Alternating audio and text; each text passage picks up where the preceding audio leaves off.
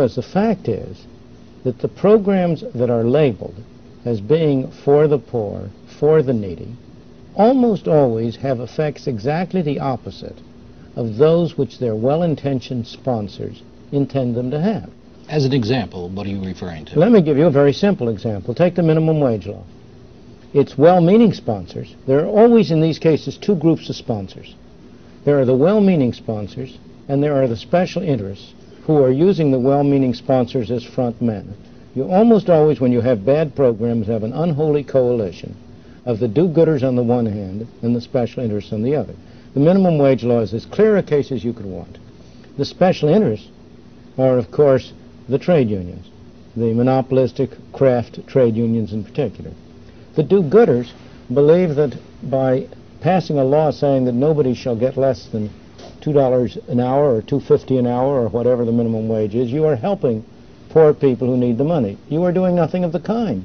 What you are doing is to assure that people whose skills are not sufficient to justify that kind of a wage will be unemployed. It is no accident that the teenage unemployment rate, the unemployment rate among teenagers in this country, is over twice as high as the overall unemployment rate.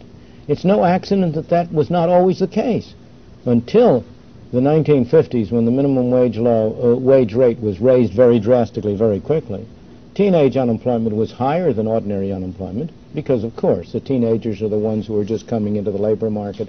They're searching and finding jobs and it's understandable that on the average they would have a uh, be unemployed more. But it was nothing like the extraordinary level it has now reached. It's close to 20% why because the minimum wage law is most properly described as a law saying employers must discriminate against people who have low skills. That's what the law says. The law says here's a man who would has a skill which would justify a wage rate of a dollar and a half, two dollars an hour. You can't you may not employ him. It's illegal. Because you have to if you employ him you have to pay him two fifty. Well, what's the result? To employ him two, at two fifty is to engage in charity. Now there's nothing wrong with charity. But most employers are not in a position where they can engage in that kind of charity. Thus, the consequences of minimum wage rates have been almost wholly bad to increase unemployment and to increase poverty. Moreover, the effects have been concentrated on the groups that the do-gooders would most like to help. The people who have been hurt most by minimum wage laws are the blacks.